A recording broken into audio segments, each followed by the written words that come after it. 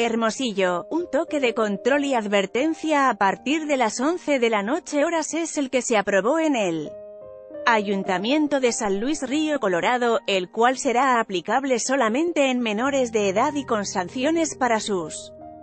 tutores en caso de no cumplirse. El presidente del Comité Ciudadano de Seguridad Pública, Miguel Sandoval, explicó que la medida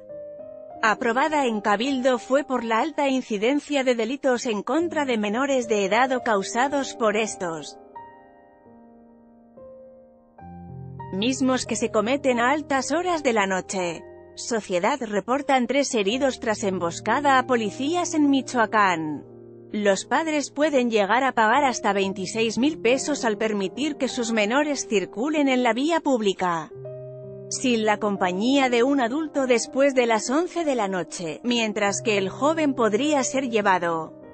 al DIF municipal o regresado a su hogar por la misma policía municipal. Ante ello, la gobernadora Claudia Pavlovich comentó que es muy respetuosa de lo que cada municipio acuerde, y agregó que es importante que haya coordinación con todas las autoridades para que haya sintonía. En cuanto a que si es necesario o no, indicó que es un tema que el presidente municipal tomó y que el gobierno estatal apoyará en lo que se requiera.